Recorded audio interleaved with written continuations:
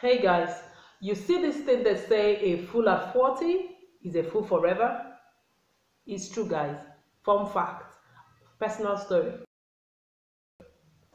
Hey guys, welcome back to my channel, guys. Today I'm talking turning 40, living in Nigeria, and the legacy question, guys.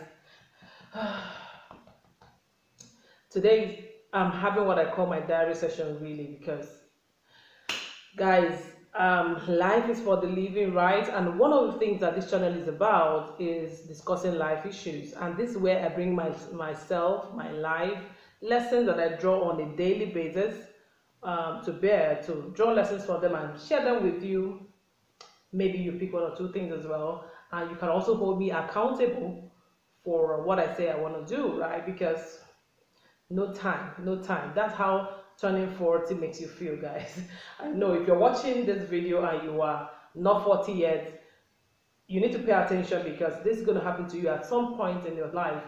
I know that people talk about midlife crisis all of those things and i used to just look at them as terms and concepts but for real guys for real i there's no lie. There's no lie anywhere. You see that thing they talk about a fool at 40 is a fool forever? Fun fact is real, guys. And I can say so. Personal story. Guys, the thing is, sorry, my name is Chisom, and if today your first time, welcome to my channel. Here we talk love, life, and chilling. Chilling is the part where we talk about money to, you know, to help us live the life and love. Okay, so I am super excited. This is more like the channel for my life. I also am very, very big on relationship advice for men in particular because I'm so passionate about the family and I think that nobody will have a great life, a happy life without a strong support system majorly in their family. So that's what I'm about. Welcome. This is the time to click the subscribe button, give this video a thumbs up right now and continue watching. Thank you. All right, so guys, I've just been feeling, having this whole feeling of, you know, overwhelm or, you know, if you call it like that, and it's just happening in my head, guys. it's happening in my head, and it's been consistent for since since when I turned 40. So if you didn't know that I turned 40 in 2020, 5th July of 2020. Of course, there was still lockdown, lockdown. There was still the pandemic was like hey and all that. So I didn't get to do like a huge celebration. Um, but you know, I danced with my family. I did this, that, that, that. So, but this year I have already turned 41. And guys, I'm telling you because somehow there's something there are definitely many things that turning 40 gets you to do. And yes if you if somebody gets to 40 and do not think like this do not have this sudden restlessness this whole i want to put my life in order. I want to make sure that i'm making a mark in my environment in my community then that person could actually be a fool. Because the thing just comes on you like a huge you know, soldier on a marathon, something like that. I don't even have to explain it. So, guys, I'm this kind of girl who grew up very, very conservative. Um, and I'm very intelligent, very idea busting kind of girl. Like so I can give you a million and one ideas about how to do what you do better. And for me, that's a cultivated skill, and I really do love it. I've been blogging now for 13 years, and I've been coaching and blogging for eight years and you know doing all of those things i'm someone who have used everything i have done to scale right? So from just being a blogger i began to teach blogging then i began to organize a blogger community. Now when i discovered blogging was when i was marketing my copy editing business. You know if you haven't watched it you know just look up here. You're going to find the link to that video where i told the story okay? And now i also, I'm a copy editor. That was the first business I ever started. That was the first talent I knew that I had and I, I developed. Okay, then when I started the business, I, I started, um, I started, I, I discovered blogging because I wanted to market it. Now, when I started also talking to men in 2016 in particular, in 2012 briefly, then in 2016 fully, people thought I was crazy, and that's my way of always following my passion, my heart, where my, what my heart is tugging. Because I have this belief really that if an idea comes to your mind, and it is because God wants you to do it to affect some people's life, or God wants you to ensure that it is done. So sometimes ideas will come to your head that you're feeling like, ah, oh my god i don't have the finance. I don't know anyone. How am i going to do this? It looks so big. What you may need to do might need to be to speak to people who you know can custodian that idea with you and make it happen. Because at the end of the day every idea is supposed to help one person. And trust me it's usually not one person but most times you're going to find out that the fear of not doing it will overwhelm you. Maybe not everyone but that's how it happens for me. Like if i have an idea and i don't make it happen if i have an idea now that okay host a main event talking about you know how to choose the right wife for instance and how to keep away um, traditional things that will hold you back your that hold back your mindset and make you to not be a perfect husband that you should be that only you can be. And then i ignore that idea. I am so aware that there's a man somewhere whose destiny whose future whose family in future or now depends on that event. Whether i want to do it virtually or real life i must get on to do it. And that was how that the kind of person i have been in the last say 13 years okay? So i am that girl who is constantly creating constantly conveying constantly facilitating teaching right? And apart from that in my personal life i'm somebody who have always wanted to have peace. Like i don't take extreme risks. I don't um, you know i don't don't go overboard on things i don't i cut away negative energy very fast. Yes i'm very good at cutting away toxic people and all that like give them the chance to heal you know outside my sphere because i'm also very very concerned with um, my humanity right? How i respond to things and how they affect me. And in doing those i have never felt a day older than 16 guys at least till the last two years. I, I feel youthful all the time. I'm constantly on the go. I'm constantly creating. My brain is my superpower. Just like my husband would say like one of the i think it's a part of my life i would like to archive my brain guys and i'm serious about it. It will help humanity even when i'm not here anymore. Okay anyway so that's the kind of girl i've been but clocking 40 changed all that. Guys first of all when i clocked 39 let me even give you a backstory i used to always have had very good eyes like I can see very far. And I used to have people, oh, people say, How did you see that that far? And I'm like, Yeah, my eyes are so good, like my dad's, and blah, blah, blah. My dad had very good eyes as well. My mom was the one that, when she was like 40, she already had problem with her eyes, so she was using, you know, glasses, um, lenses, and all that. But I always prided that, oh, I have my, my dad's kind of eye, my eye won't be bad. But clocking 40 changed all that. I was 39 actually when I discovered that, girl, if I want to read something, I have to keep it away like this then bring it, you know, and try to like, what's what's wrong with me? So I went to a doctor friend of mine, um, an ophthalmologist, and then got this pair of glasses in 2019. Let me show you. So I got my glasses. You must have seen me wear them. Yeah, even though I want something more sexy right there, right? So I got this pair of glasses and it's been helping me. Like if I don't wear these glasses, I can't read the Bible, I can't read some books, I can't read certain things, guys. It's just really frustrating because my eyes used to be good. And I'm like, what? If you watch my last video, which was a vlog with my family, you guys liked that video. Thank you for watching it. I went to another eye test in Soteria Eye Clinic. They actually offered us a free medical exam eye examination. And after checking what's wrong with my eye just biomyopic, like it's it's age, nothing. I don't know have any astigmatism, whatever, short sighted, the long, just age. The fact that you are up to 40 gave me this.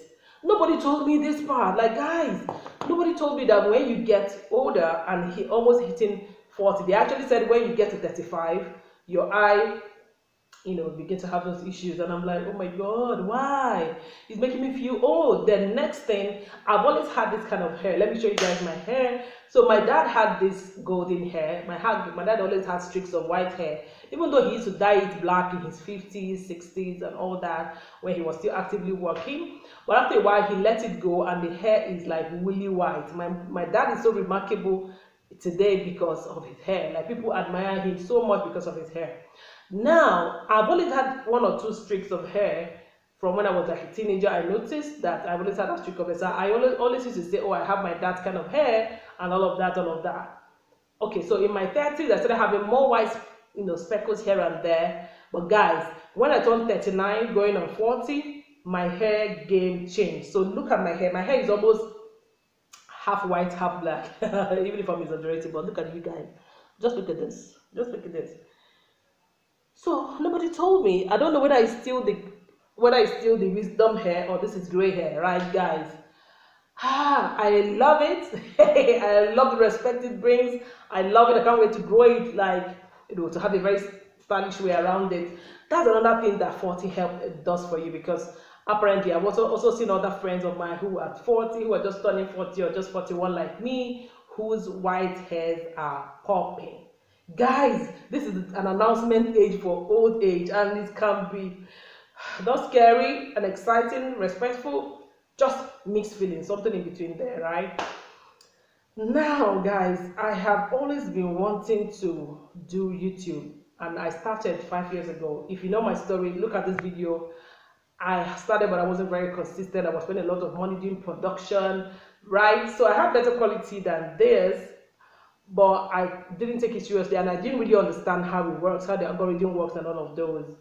And, and I started this channel. Now, I've always had the struggle of niching down. Remember what I told you about always being the one on the go, organizing, you know, and all that. And people know me for calling out to teach people on blogging majorly, sometimes copy editing, and then sometimes talking to men, you know, for their relationship, counseling, coaching, and all of that.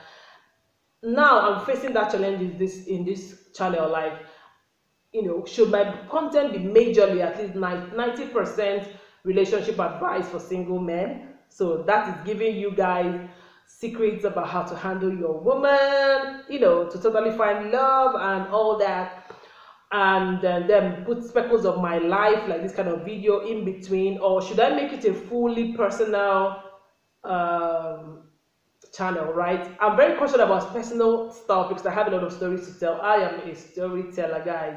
But i'm also very uh, concerned because i'm like i'm not like a celebrity. Nobody wants to watch me. Who even knows me right?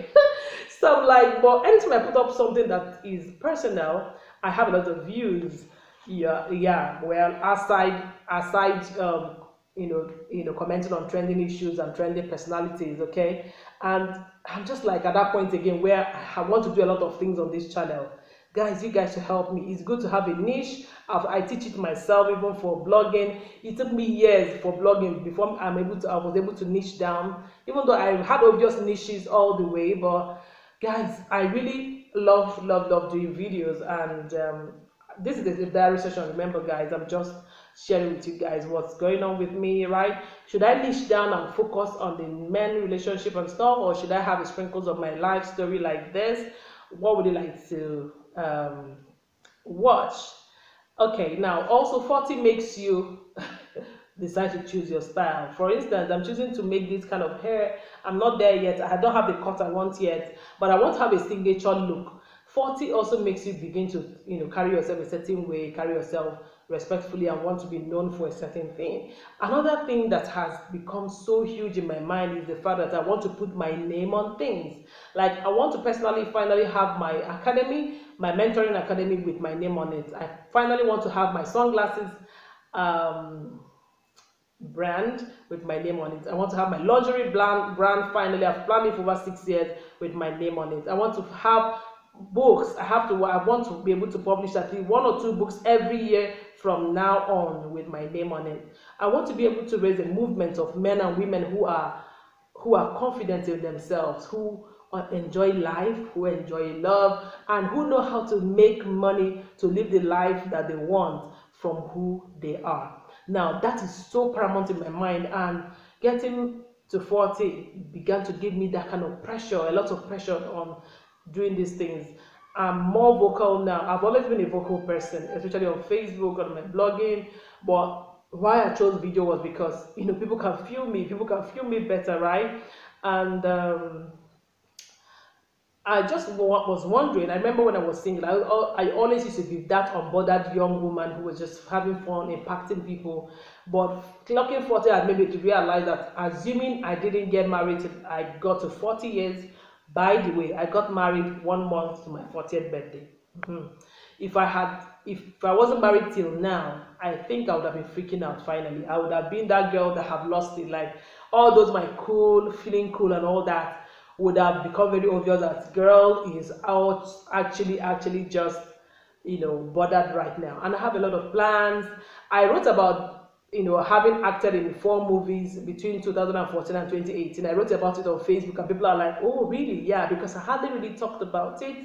And that's also something I want to do. I want to not just be on camera, I want to be on camera pretend uh, you know playing pretend you know like uh, so i am really really really conscious of what being 40 can be and these are the struggles in my head these are the things that i'm thinking about and trust me you're going to be the first to know. Let me know what you think about me turning 40, what I have said, me trying to leave a legacy, my niching down on this channel, you know, and all the things that you would have heard me say and the things you didn't hear me say, but you can perceive. I need you to advise me. I need you to, you know, just tell me something in comment section. And don't forget to give this video a thumbs up if you liked it and come back for regular programming soon. I'm always saying regular programming. Everything is regular programming, guys. Don't mind me. So see you in my next video. Hi.